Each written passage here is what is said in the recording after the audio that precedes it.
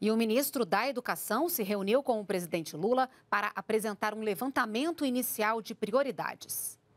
Após reunião com o presidente Lula, o ministro da Educação, Camilo Santana, afirmou que em breve o valor da verba repassada para o Programa Nacional de Alimentação Escolar deve ser ajustado. Há seis anos que não há reajuste na merenda escolar, que é o repasse que o FNDE faz para municípios e para estados.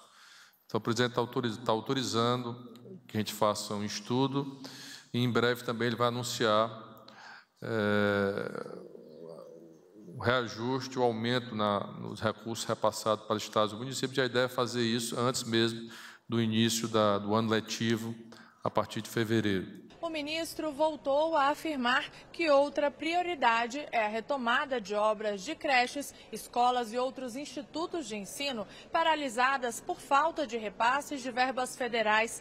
Além disso, o governo quer impulsionar o Exame Nacional do Ensino Médio. O Enem, gerenciado pelo INEP, teve em 2021 a menor taxa de adesão da história, com pouco menos de 2 milhões de estudantes. Nós estamos nomeando o restante da equipe nos próximos dias, o presidente do INEP, e nós vamos é, acelerar e fazer uma campanha importante para reativar e estimular os nossos jovens a participarem do Enem.